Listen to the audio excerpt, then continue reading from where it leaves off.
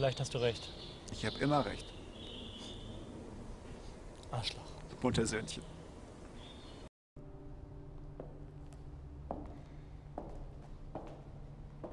Die wurden verprügelt. Ich habe das doch gehört.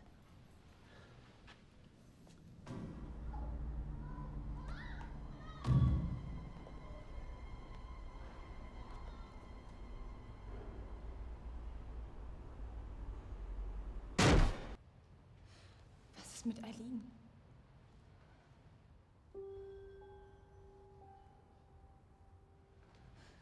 Was ist passiert?